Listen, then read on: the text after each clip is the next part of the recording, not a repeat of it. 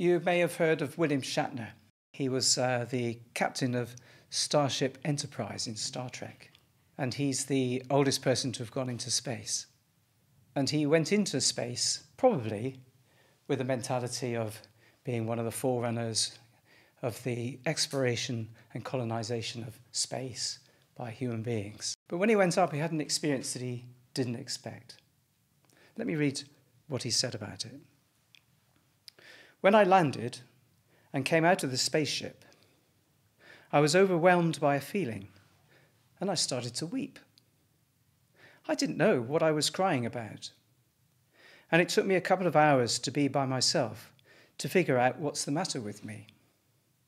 And then I realized I was in grief for this beautiful world that I could see more clearly from up in space. This planet that took five billion years to evolve into what it is now. And all the multitude of things that we human beings can love and be aware of that are so beautiful. Never mind the elephants and the great predators and all that stuff, but the stuff of today. The child, your fingers. I mean, everything abounds that is a miracle and is beautiful, and we're destroying it. That was my overwhelming feeling of, oh my God, what are we doing to this tiny rock? And this came about because of an experience that he had when he was up in the spaceship. He was only there for a few minutes, and so there wasn't time to take it in. But he said that when he looked to the right, he saw this beautiful planet, blue and white, with, it, with all its continents. When he looked to the left, he saw death. Empty, dark, cold, space. The theme of this talk is eco-dharma. Eco, two parts to the word ecology. Ecology is the science of the interconnectedness in natural systems and the interconnectedness between living things and environment.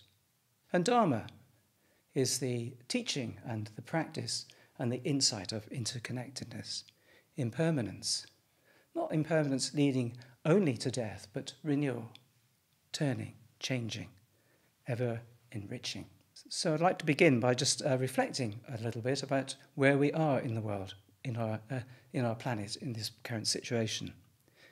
We run our modern world on the basis of ancient solar energy in the form of oil, coal, and gas. And the Earth's crust is like a great battery. And this has allowed our civilizations to evolve and develop very, very rapidly. Since 1950 has been the biggest amount of change, and uh, sometimes this period since 1950 is called the Great Acceleration. As it happens, it uh, spans the whole of my, my own lifetime. Population of the world has moved from 2.5 billion to nearly 8 billion. Energy use has increased vastly in the world. We now have plastics. We used to have Bakelite. We now have plastics. Drive down the motorway and just see the plastics everywhere, scattered. Concrete, vast amounts of concrete. We build the equivalent of one Manhattan Island every month in the world. And of course, the greenhouse gases that come from these processes. And there have been great improvements to human health and human lifespan. A number of us are getting on, and we're still expecting, hoping really, to live for a few more years. But that wasn't the normal experience. Three score years and ten was a pretty good life. Now it's a pretty normal life. And even across the whole world, life expectancy has gone up considerably in, in, in all countries. Of course, not evenly distributed completely, but very much widely distributed. But it's come as a price of pressure on Earth systems due to the waste, the pollution from fossil fuels, and the pollution from chemicals, plastics, general waste, and changes in land use, deforestation, and so on. Interestingly, climate change that we have now was predicted in the 1970s uh, by scientists in Exxon. And they got it really accurate. They were very precisely accurate about the amount of carbon dioxide there would be in the atmosphere and the likely effects of that. And possibly the uh, politician with the greatest foresight at this time was Margaret Thatcher. She did a speech in 1989 or something like that, I think it was. Uh, she did a speech to world leaders And the speech was about uh, climate change that's coming, how we need to right away begin to do something about this, because uh, she was effectively uh, understood the science to do with carbon dioxide, greenhouse gases, and so forth. When Margaret Thatcher gave her speech, she was talking about the future. But it is now here. It's very different, isn't it? What was been the future for uh, in, in our minds for many, many years is now the present in terms of climate change.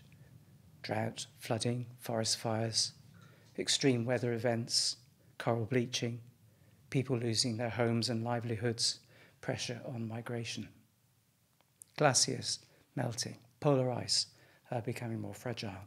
Scientists have identified nine planetary boundaries.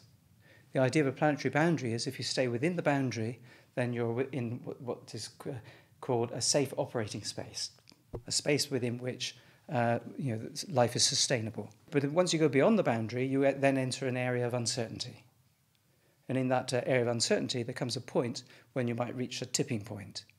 But we, nobody knows where those tipping points are. But at some point, you can get to a, a tipping point where change becomes irreversible. Of these nine planetary boundaries, we're already, I think it's in six now, we've already crossed into the uncertainty phase. So we, of course, climate change, which I've already mentioned. The safe, the, the safe operating level they considered was 350 parts per million for carbon dioxide in the atmosphere. It had been 290 for thousands of years before the Industrial Revolution, and now it's 420. The last time that it was at 420 parts per million was, uh, was 4 million years ago in the Pliocene period. And at that time, the uh, sea was 25 meters higher than it is now. And the rate at which we're putting carbon dioxide into the atmosphere has doubled since the 1960s and it's still at this high level, still going up at the moment. Now, this isn't necessarily a matter of doom because it's quite possible for the Earth to reabsorb the carbon dioxide, uh, as, assuming that carbon dioxide doesn't continuously be put back into the atmosphere, and assuming that the Earth's systems are capable of doing the absorption, which means they need to be relatively healthy. We hear so much about biodiversity loss. The extinction rate now is about 100 times what it was before industrial times. And uh, of course, we also know that the abundance of wildlife has uh, reduced dramatically, uh, overall 60% less, particularly uh, strongly for insects. Another very relevant point is, is, is world energy, how much energy we use, how much energy effectively we're extracting from the different sources of energy. And the amount of world energy that we use has doubled, doubled since 1980, and predicted to go on increasing. It could get as high as 45% more by 2050 without significant change to the efficiency with which we use energy. So it's on track, actually, to go up a lot more. And without, again, significant change, that could be as much as two thirds of that could be from fossil fuels. All of this uh, uh, it, reflects the fact that uh, we as human beings now are effectively driving the Earth systems. So the, the period that, we've, uh, that we're now in um, is the anth- Anthropocene. That means human beings are driving things.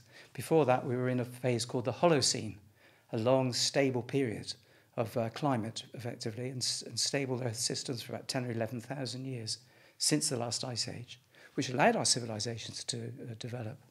But we're now into the Anthropocene. What does that mean? It means that we, collectively, humanity and us, we are responsible now. The uh, teaching, if you like, of Ecodharma is interconnectedness of us and all things. And the, the teaching is that we are not separate. And this, of course, there's also the teaching, this is the teaching of ecology, and it's also the teaching of the Dharma, that we're not separate. But it is the case that we now have, by uh, wishing for separateness, if you like, by uh, following uh, stories, uh, for example, a story of uh, man's dominion over the earth, for example, we've now got what we wished for. We now are responsible because we are the, the one group that are creating these conditions and therefore the one species that can do something about changing this. So, because of the Anthropocene, we have it in our power to restore the health of the biosphere. And although the outlook is extremely concerning and the trends are extremely troubling, um, catastrophe is not a given. It's very important to follow the science in this because there's lots of people who tell you that catastrophe is a given, and it may well be the case that significant catastrophes are going to happen. But overall, survival uh, is not necessarily uh, total survival of humanity, and all species is not yet necessarily yet uh, uh, on the table. According to the International Panel for Climate Change, in the two most optimistic scenarios, at this point at which we stop putting carbon dioxide into the atmosphere, temperature rise will level off and then gradually slowly fall over maybe 100 years, a couple hundred years or something like that. Too late for ice. Um, there will be significant changes to the amount of ice loss, and that is now irretrievable. But uh, we're not actually on target for those better scenarios. We are actually on target at the moment for a temperature which is probably greater than 2.4 degrees centigrade by 2100. And if that is the case at 2100, then that does mean that ultimately, over the next couple of hundred years, the sea level will rise by between 6 and 10 metres. And that will become inevitable over time. And all the glaciers and much of the polar ice, therefore, will be lost. So the trends are not good, but the, uh, the opportunity and the, the responsibility is very, very clear. And that's a great thing because there's masses and masses amounts of real time energy. We don't need this ancient solar energy. There's real time energy. Look at the sun outside. Listen to the wind. Think of the seas. And uh, even uh, geothermal as well. So there's thermal energy, a vast amount of thermal energy that can be tapped under the seas. I have a friend who's just um, patented the processes for offshore um, geothermal energy ex- exploration. Um, if anybody's interested in the technical side, 95 pages um, of, uh, of how to do this, and uh, has now been they've been invited by the United Nations to put forward proposals and bids and so forth. So there is all the energy that we need from real-time energy. There's no need for this battery in the Earth's crust. We can let it rest in peace. So, what attitude do we need, both in terms of being uh, Dharma teachers, but also in our own lives? One of the sort of, uh, you might say, um, uh, unexpected comments that John Crook once made, I was having a conversation with him about it, and we were talking about something, although I can't remember what it was. But anyway, he said, Life is a fight. Now, coming from a naturalist, you can see, you know, you only have to look around. There's plenty of evidence for life being a fight. It's not the whole story, of course. He wasn't so uh, naive as to think that. Life is a fight. So, a fighting spirit actually is quite important. And Master Sheng Yen had a different uh, approach, if you like. When Master Sheng Yen, when he came to do the second retreat at Maenllwyd, uh, he finished the retreat with a, a, a, a pretty well on the cuff, very beautiful um, statement about what has happened. And he used the metaphor of water. And his point was that if we remember where the source of water is, then we don't have a problem. We can go and get the water. But if we forget, we've got a problem. And we might have to, to, to drill a well, which may not be so easy in time. And then he went on to say, it's, of course, the metaphor was this was the Dharma, the teachings. Uh, they were like the water. And he's saying it's not that the water needs us, it's us that needs the water, just the same the Dharma. The Dharma doesn't need us, it's us that needs the Dharma. Well, so it is with the earth. We need the earth. The earth doesn't need us. Mass extinctions have happened before, and uh, life recovers. There are probably another two billion years uh, that this world will continue to be habitable so life will continue, it will recover. But we have an opportunity to make our collective uh, life on this earth, make it sustainable by some simple but very powerful changes. Simple in concept, extremely difficult to do. So, what can we contribute individually, for example? Must be wary here, of course. The fossil fuel industry has one of the ways of trying to deflect attention from extraction has been to emphasize consumption you need to consume more. We'll carry on taking it out of the ground, of course, whereas really we need to be going back to the source. But nevertheless, there is a, a responsibility for all of us to do something. What are the things we can do? Well, I thought really of five different areas. There is campaigning and activism. There is contributing our skills and knowledge. If we have anything relevant to contribute or useful, then contributing that, whatever it might be. There's living more lightly on the earth, being vegetarian, vegan, reducing energy use, making it more efficient, green energy, various forms of uh, efficiency, insulation, so forth, thinking about how we travel, thinking about how we organise events so that there's less costs involved in travel. People coming to uh, a remote place, sharing a car, that kind of thing. There's helping others with our time and resources and asking for help from other people as well when we're working on things. We may not have much to much experience or knowledge or relevant information about um, aspects of climate change, but maybe we know somebody who does, and so maybe we can find some way of supporting them, just even encouraging them. I take a great deal of enjoyment out of encouraging my friend on geothermal, and, and uh, we have a lot of discussion about it. There's also the question of looking after ourselves, personal practice, and, and our own care. It's very easy when thinking of this to feel overwhelmed, feel overly pessimistic, to have a sense of giving up. Well, those are practice issues. There's, uh, there's uh, no sense in trying to suppress those feelings, but also not allowing those feelings to run our lives, to run ourselves. Another of Master Sheng Yen's teachings was how to manage a problem, how to confront a problem. Two central points. The first of all is compassion. To have compassion for oneself and compassion for the others who are involved in this issue, whatever they're doing, whichever side of whatever fences we see. And the second is wisdom. Wisdom, of course, is being clear about what's going on, not being easily fooled, not being taken in, but also reflecting carefully on what is the most appropriate response understanding our own energy, understanding what we can contribute and what we can't. And then he broke it down into four ways of tackling a problem. The first is to face it. And this talk, of course, is uh, an attempt, if you like, to express facing it.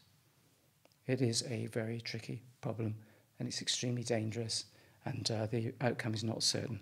And we as a species are taking huge risks and uh, that's facing it. And that then may lead to some sort of inner, if you like. Uh, there's then a need to face inwardly and that might be facing a sense of despair, facing sadness or grief. If uh, at some point one is talking about this and starts to feel te- tearful, then, then not to shun that or shut it off, to experience and face one's anger or rage or whatever it is. That's, these are all aspects of facing it. And these, if like, are part of the, um, uh, of the Buddhist path. And you might say that there's a phrase uh, in Ecodharma which is the ecosattva.